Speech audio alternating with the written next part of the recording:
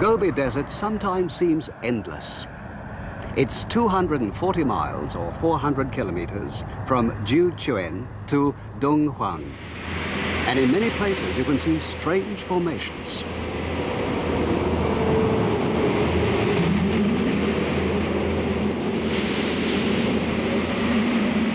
Near Bulongji, it was especially strange. Winds of 90 miles per hour or 40 or 50 meters per second are not at all unusual here.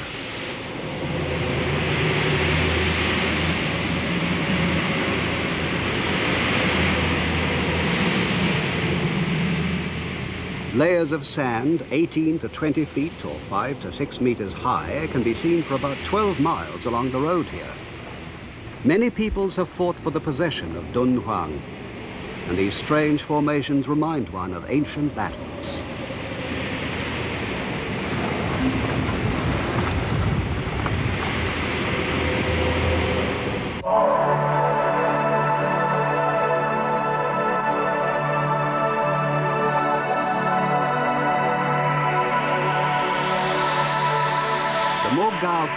At Dunhuang, about 90 miles or 150 kilometers west of Bulongji, were rediscovered in a part of the desert that's sheltered by a few trees.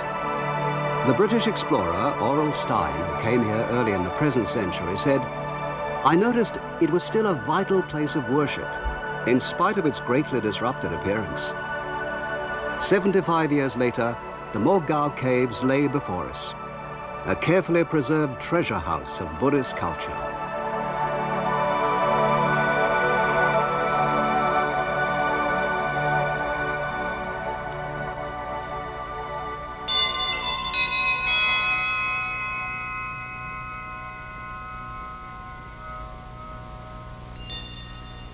We first visited cave number 17, where Stein discovered an extraordinary number of precious historical objects a collection that amazed the academic world.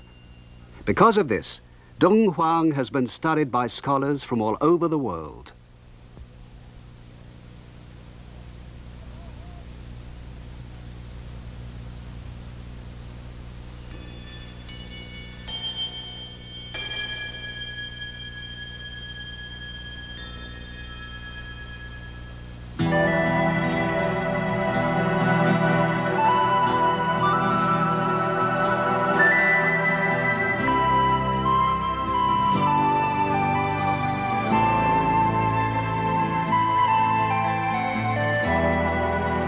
Mount Mingsha looms like a great wave over the landscape. The caves are in a mountain cliff, 150 feet or 50 meters high, and stretch a horizontal distance of about a mile or two kilometers from north to south. Here there are almost 500 caves, with about 3,000 statues and murals. If they were all lined up, there'd be about 30 miles or 45 kilometers in length the longest art gallery in the world.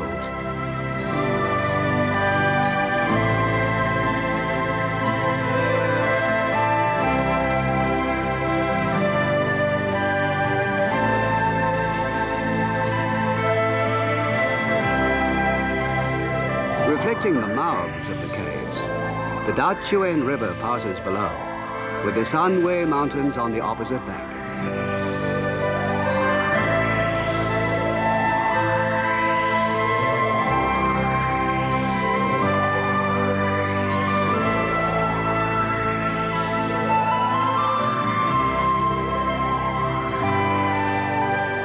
There's an interesting tale about the origins of the Mogao caves. A Buddhist monk by the name of Lajun came to Mingsha mountain one day at sunset. He saw the peaks of the Sanwei Mountains opposite, enveloped in glittering golden light as if a thousand Buddhas were manifesting themselves. Thinking that it must be a sacred place, he had the first cave cut in Mingsha Mountain. That was in the year 366 AD. It was the beginning of what was soon to be a treasure house of beautiful objects.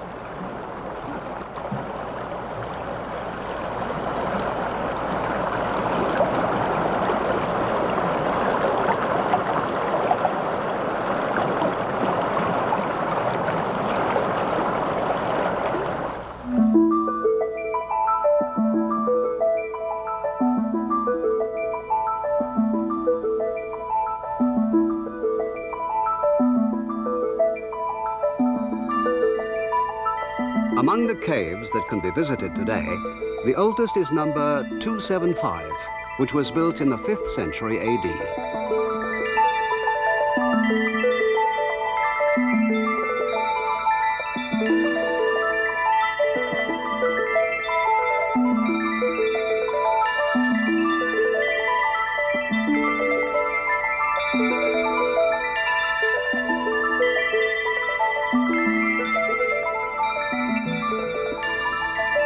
Figure is one of the Buddha of the future, who sits cross-legged. It shows many features typical of ancient sculptures. For instance, the posture, the almost completely nude upper body, and the closely clinging robe are all typical of the old Western land style.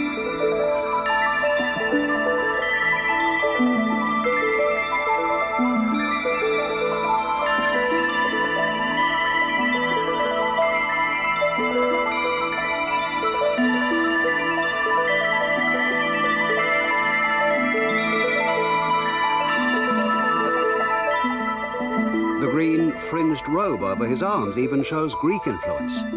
This mixed style is typical of the period.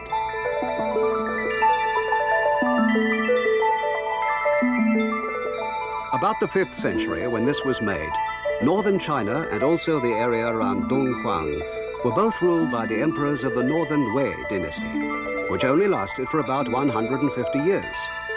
This can be regarded as a typical relic of the Northern Wei, who were of a nomadic race, but who adopted the customs and manners of the more advanced Chinese. They also adopted Buddhism, but were eventually absorbed into the mass of Chinese who were in the majority. This Buddha of the future shared the fate of the people who created it. And this particular style is not found again in China, nor did it travel on eastwards to Japan.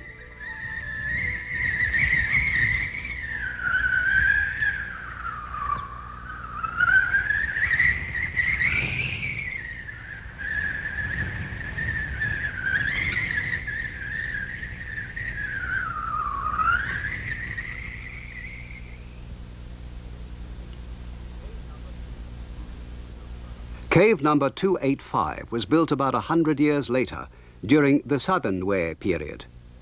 The alcoves, which were designed for Zen Buddhist meditation, are in the same style as the Bihar caves in India.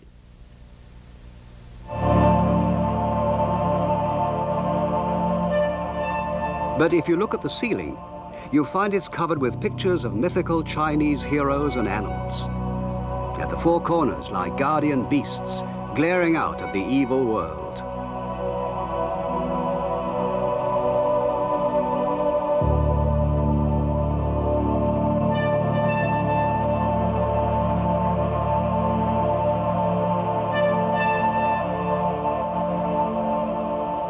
Here's a dragon with nine heads, a character in the stories of the Shanghai Sutta.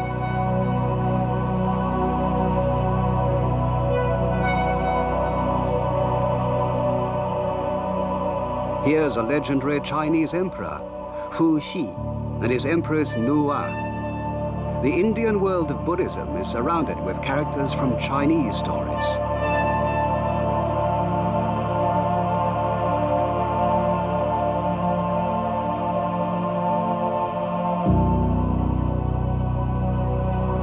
Cave number 428 was built in the middle of the 6th century and it has a raised triangular ceiling in Chinese style.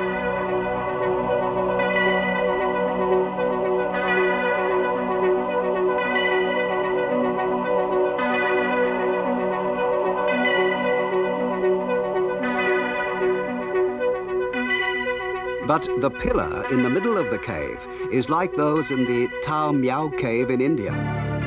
This mixture of Indian and Chinese elements is typical of the early Dunhuang style.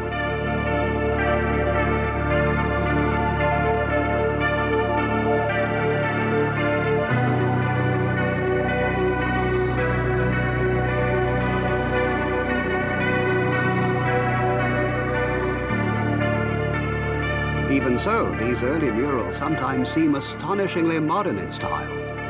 When they were first seen, many people thought they were like paintings by the Fauvists, ultra-modern, in spite of the fact that they're 1,300 years old.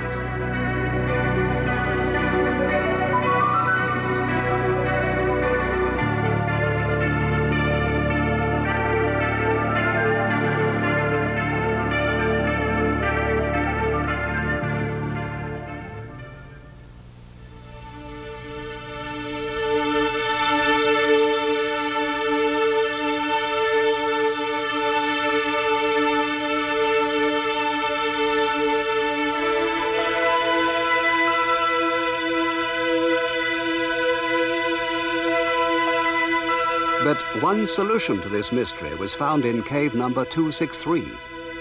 Underneath a mural painted in the 11th century was another painting from about the same time as those in cave number 428. The figure was outlined with beautiful pink shading. So what look like modern bold drawings are actually the result of the fading of the pigments caused by the light.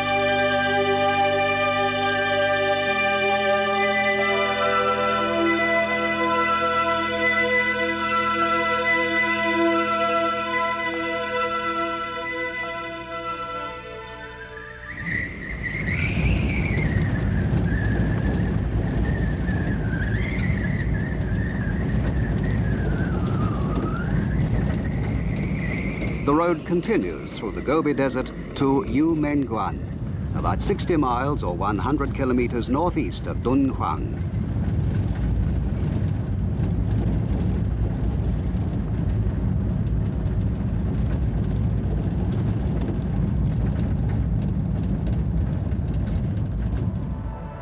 In the second century BC, the Han Emperor Wu Di had conquered the western lands and Dunhuang became a place of great strategic importance on the Silk Road. Yumenguan was a frontier area. Since those days, many other peoples have invaded this area, and many other Chinese dynasties have fought to retain it.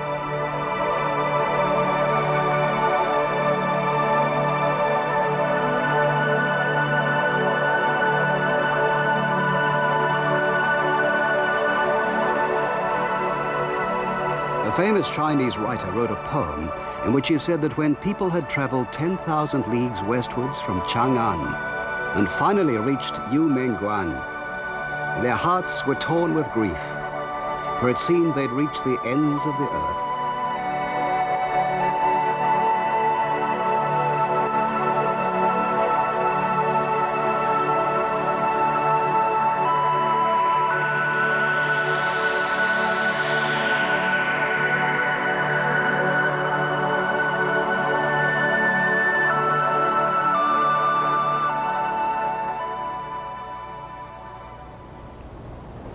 Here's a part of the Great Wall that was built in Han days, still standing.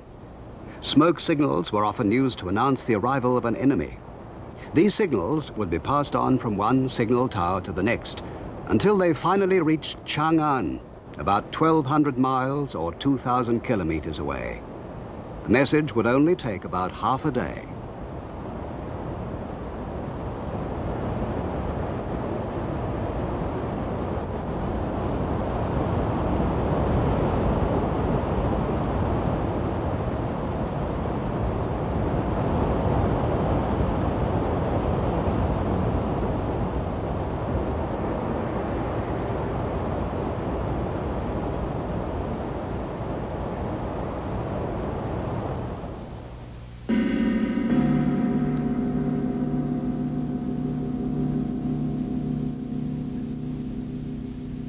In the later part of the 6th century, China was reunified under the Sui dynasty. The Sui dynasty was a very short one and only lasted just over 30 years.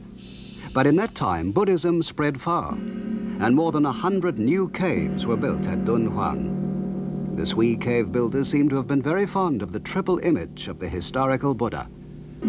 The power and prestige of a dynasty that could reunite China and make converts to a new foreign religion is obvious in the lines of these statues.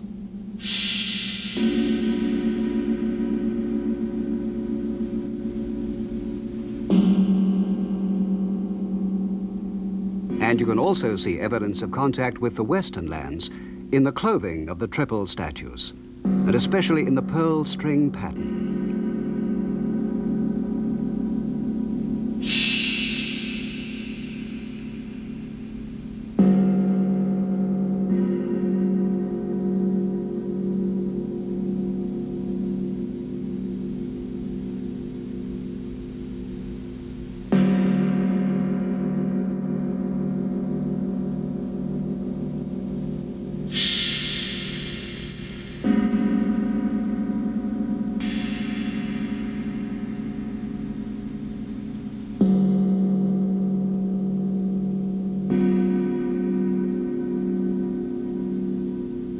The Sui dynasty was short, but it foreshadowed the glories of the great Tang dynasty that would come next.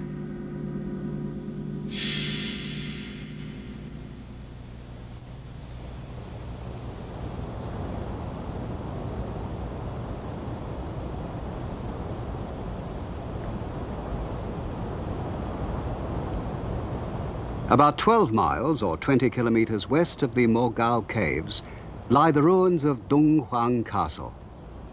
Dunhuang was called Shazhou in those days and was filled with temples, with this castle at the center. It had a population of 16,000 and 1,000 of these were priests. The center of the modern city of Dunhuang lies about two miles or three kilometers east of the castle ruins.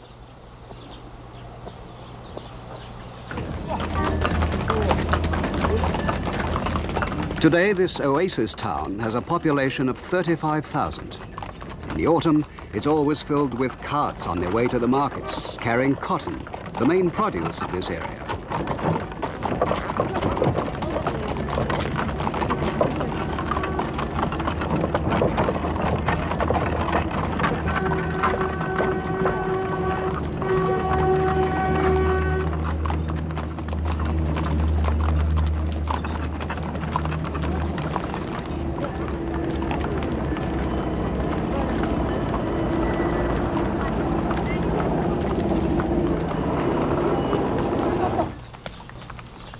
Days when Dunhuang was a fort on the Silk Road, you could have seen people of many races with carts piled high with silk for sale.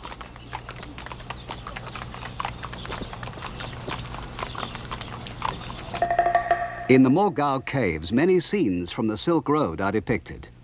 Here's one showing merchants who have encountered robbers on their way and who are trying to ransom their lives. The merchants are from Tibet and from other Western lands.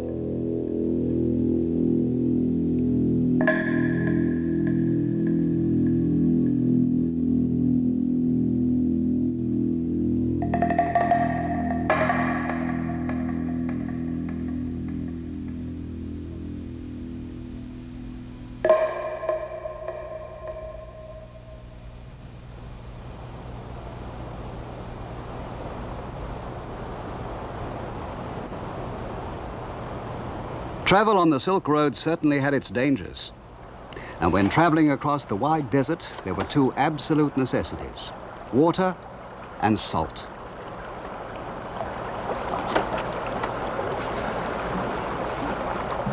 There are many salt lakes near Dunhuang. Salt from these lakes must have been very useful for the travelers along the Silk Road. Even today, you can see people digging salt here.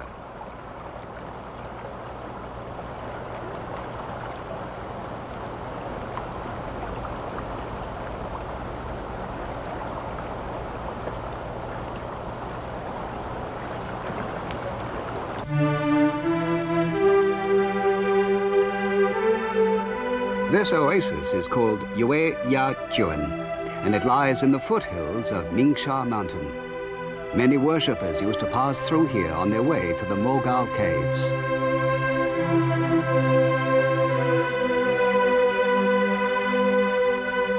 Stein, who came here in 1907, said that at that time, the Mogao Caves were still a place of living worship. On at least one day a year nowadays, you can still sense a similar atmosphere.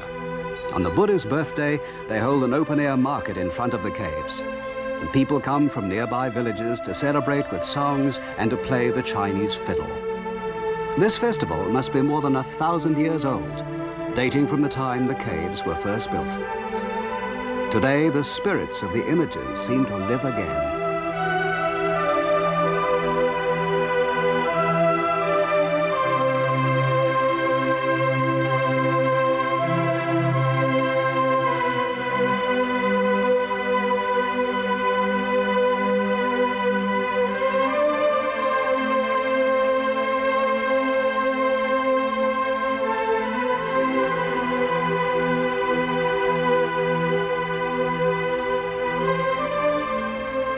The Tang dynasty prospered partly because of the trade which came along the Silk Road.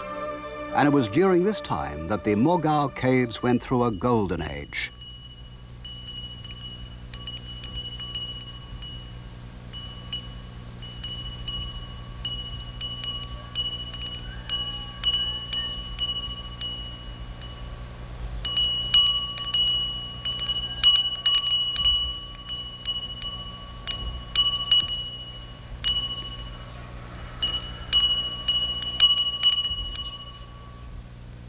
The most popular Buddhist style of those days was a group of seven figures, with the historical Buddha in the center.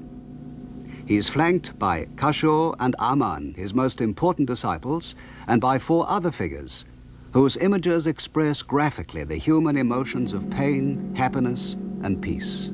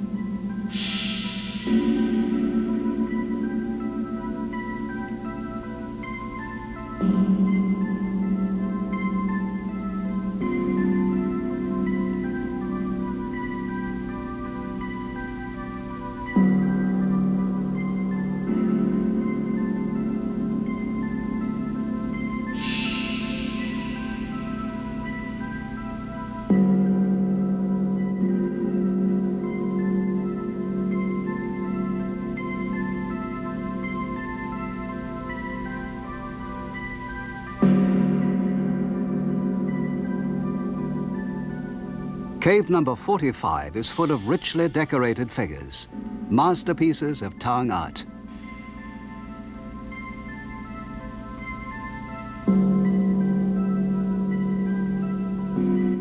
This is Anan, who served the Buddha unceasingly.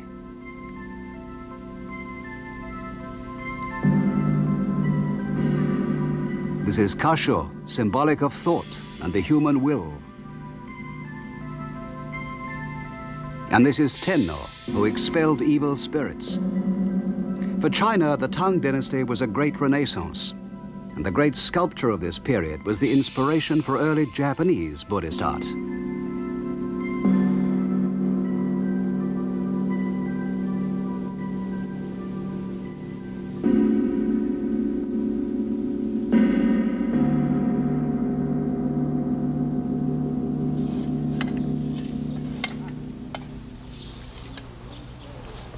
At cave number 130, the Dunhuang Cultural Research Center has recently begun new excavations.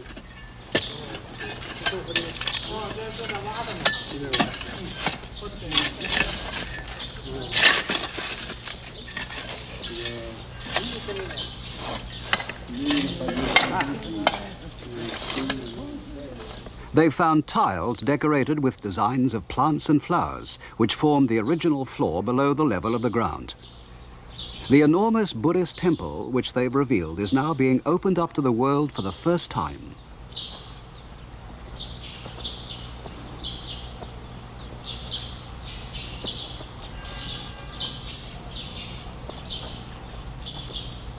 If you stand on the excavated floor, about 10 feet or 3 meters below ground level, the caves appear far more lofty and impressive.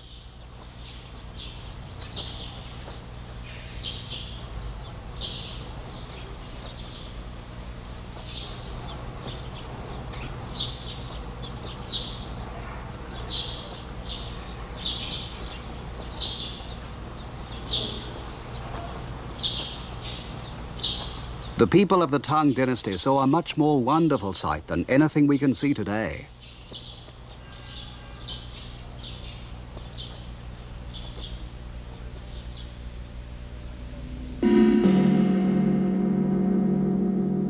When we look up to the great Buddha of the future from this level, it gives us a powerful feeling of awe and majesty. The great Buddha is more than 70 feet or 26 meters high.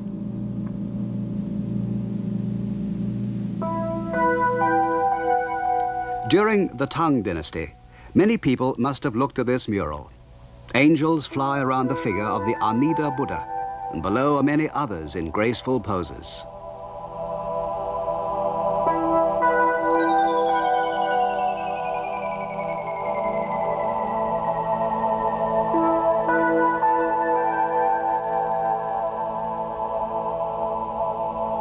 As the people sat listening to the chanting of the priests, it must have been easy to forget the cares of the real world for a moment. For this was the paradise of the Pure Land.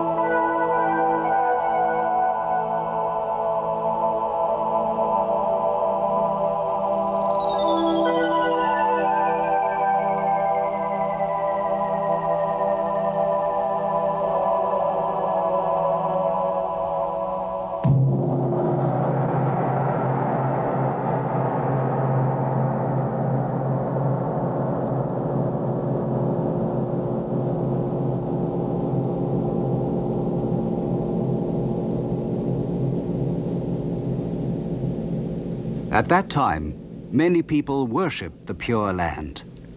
About 200 of the murals at Dunhuang, or about a quarter of the total, are pictures of the Pure Land of the Western Paradise.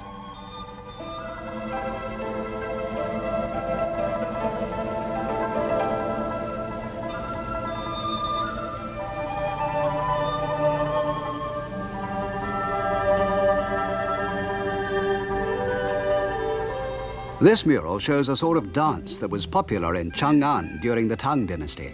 It came to China from the western lands and seems to have consisted of pirouetting on tiptoe to lively music.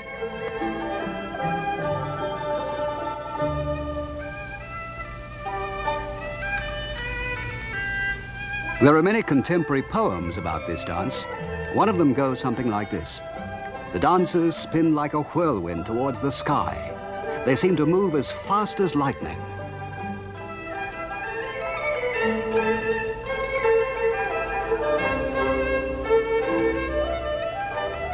Today, the dance is stilled, but its shadow has been preserved on the walls of a cave.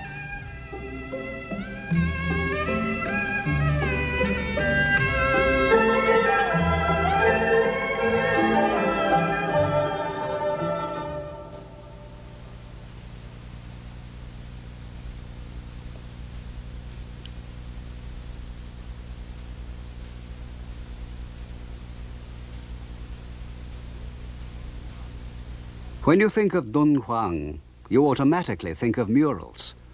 And if you think of murals, you think of Dunhuang. Perhaps the most wonderful are those of angels. In the early paintings of angels, they're often in ungainly poses and their flying seems rather clumsy.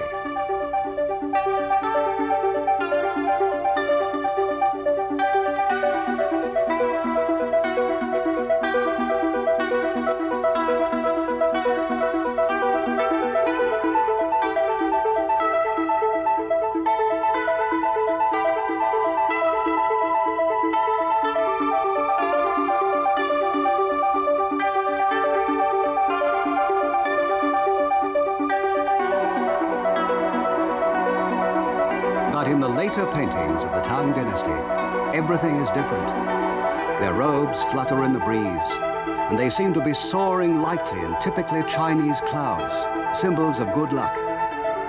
In this way, the idea of angels, which came originally from the far west, became typically Chinese.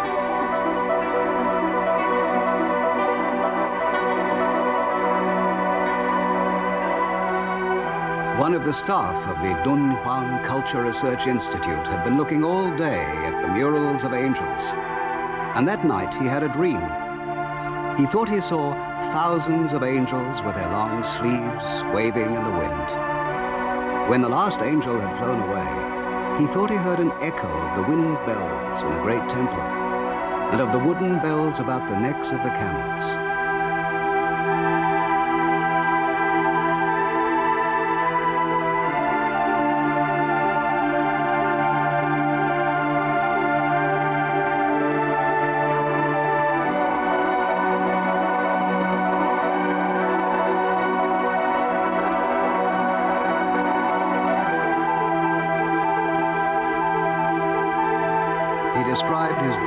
Dream most movingly. It was the kind of dream only someone who has studied these murals for many years could experience.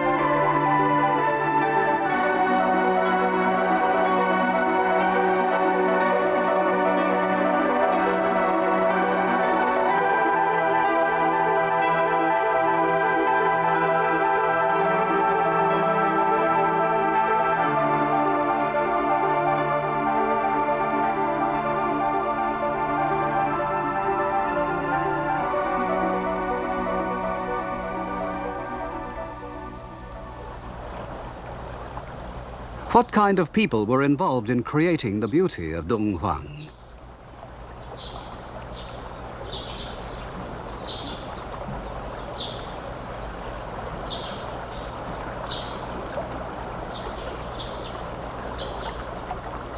At the northern end of the Mogao cave, there are small caves which have been opened up and they look like a beehive. After the communist liberation, unglazed plates and paints were discovered here, and there was even bedding in the cave.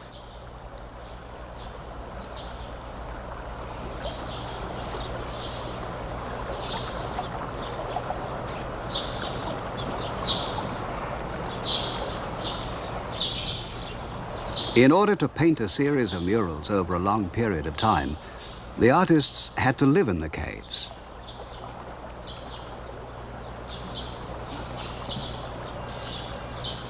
The place where the artists lived was only four meters square, and it had to contain such things as a bed, a table, and a brazier. Almost all of those artists were anonymous. There is one contract in existence dealing with an artist's debt and the collateral he had offered was a child. He was obviously poor, and today we don't even know his name.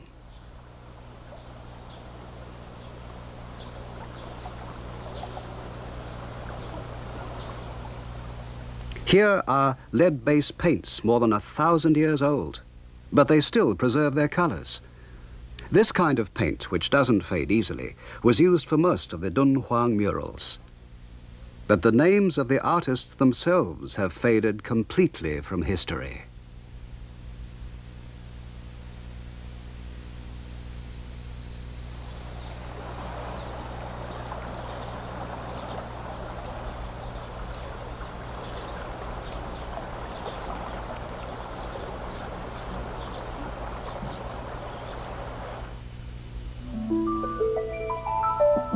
This is a painting of the Tree of Life in cave number 57.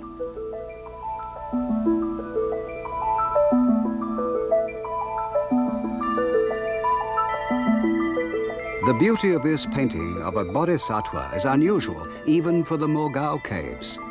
The skin seems to blush with pale pink, and the floral crown has been dusted with gold with the most marvelous skill.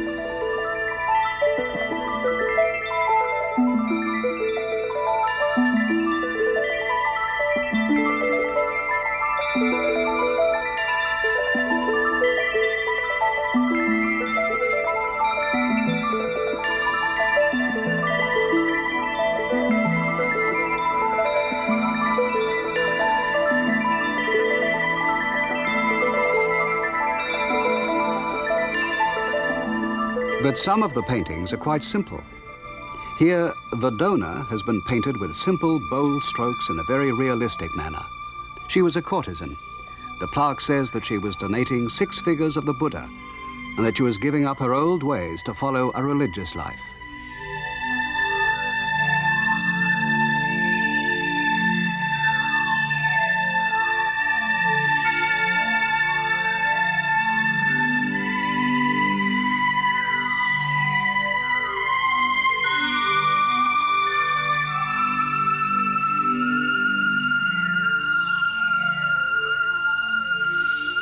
In this tiny cave, only 10 feet square or 3 meters square, we see a slice of life from Dunhuang in its Tang heyday.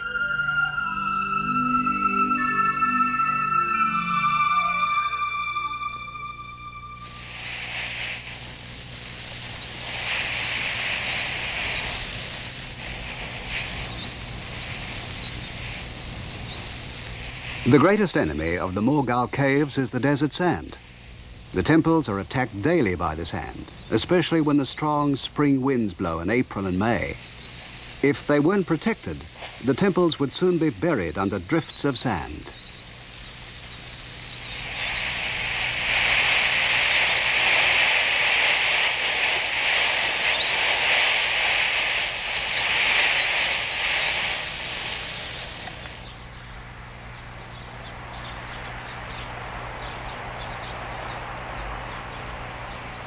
Starting in 1963, four years were spent in serious restoration, and the army built concrete walls to protect the caves from the sand. In order to keep a natural look, the walls were finished with sand from the desert.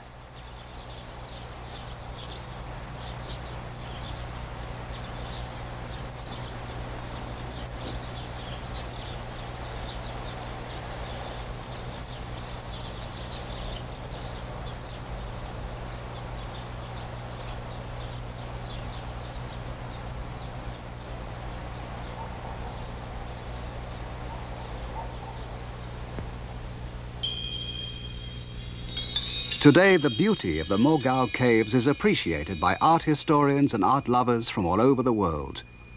But in the past, some people let their enthusiasm get the better of them and even vandalized the murals to take parts of them home. An American art historian left these holes when he took sections of the wall away with him.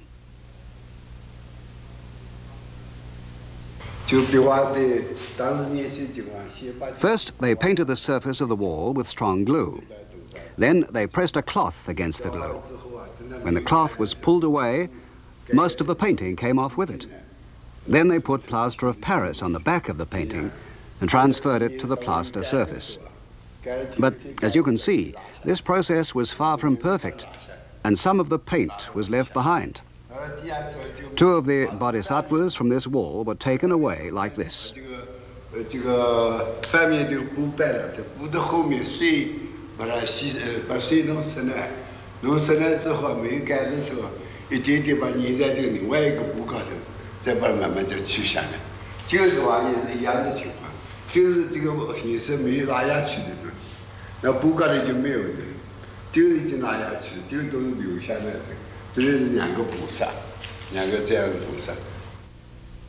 Today, the pictures of the two bodhisattvas are in the Fogg Museum in Boston. Let's put them back and see what the entire painting looked like.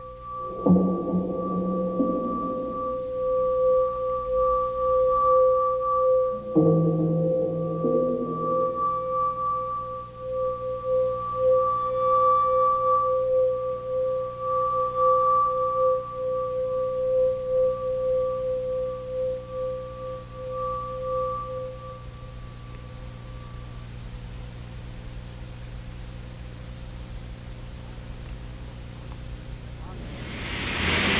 Tang dynasty brought a golden age to the Mogao caves. But eventually the dynasty collapsed. And this part of the country again became the scene of battles between various tribes. Some of the story can be read on the walls of Dunhuang.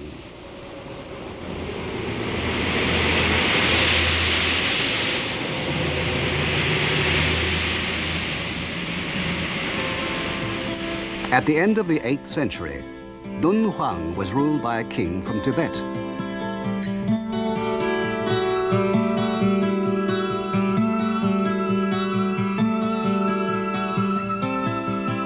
In the middle of the 9th century, the chief of a local tribe, who was called Jiang Yi Chao, defeated the Tibetans and ruled the people. Here you can see him in a grand parade with his soldiers.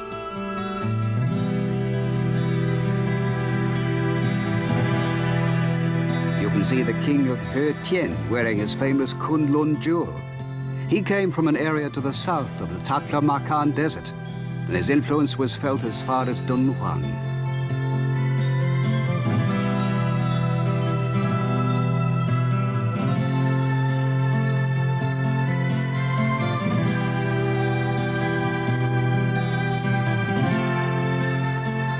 This is King Shi Xie, who ruled Dunhuang during the 11th century. During the reigns of these various kings, something happened that we can't explain today. The mystery of cave number 17.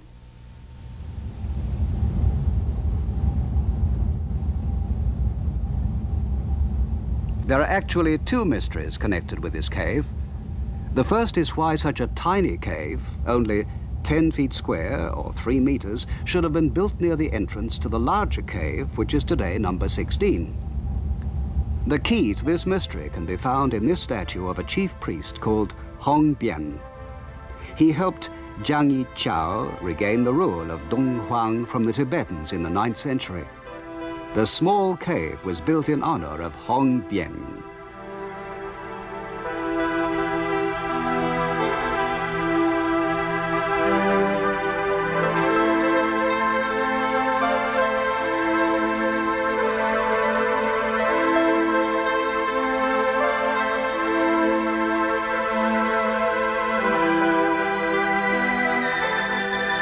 Figures in the mural represent his companions.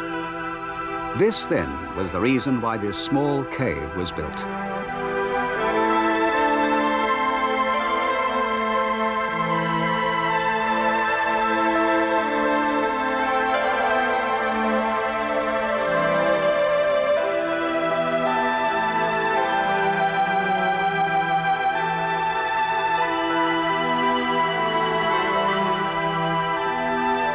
But when it was discovered, it was full of an enormous number of documents and paintings that attracted the attention of the entire academic world. Why were they put into the cave and then sealed up?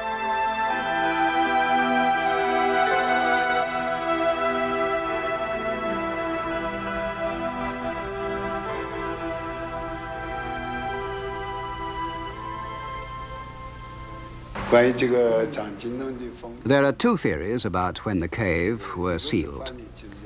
One says that it was in 1036 AD when Xi Xia conquered Dunhuang. The other is that it was a little later in about 1054, during the actual reign of Xi Xia. The people who hold the second theory say that Xi Xia respected Buddhism so there would have been no reason to hide the books and paintings before he conquered the country. But during his reign, many Muslims came from the West, and it's believed the things were hidden to protect them from the Muslim iconoclasts.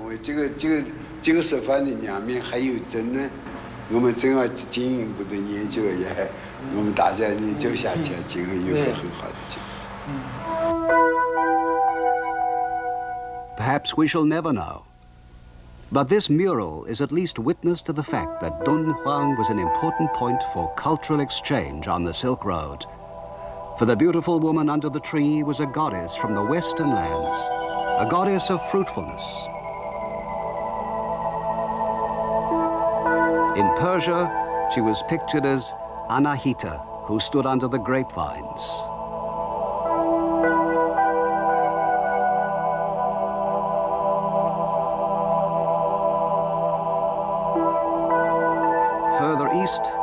Figure appears as the goddess Yakshi, who stands under a mango tree in Bharhut in central India.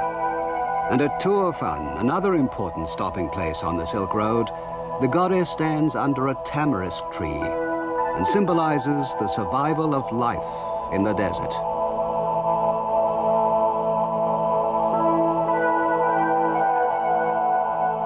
Still further east, in Chang'an itself, we can see a beautiful woman under a tree painted on the tombs of members of the imperial family. And finally, still further east, we can see her again. This time on a screen preserved in Japan, in the famous Shoso-in Imperial Treasure House. Even today, the Mogao caves can still reveal the story of how the Silk Road brought about this great cultural interchange.